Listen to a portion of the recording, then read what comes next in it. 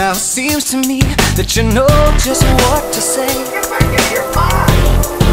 But words are only words. Can you show me something else? Can you swear to me that you'll always? Be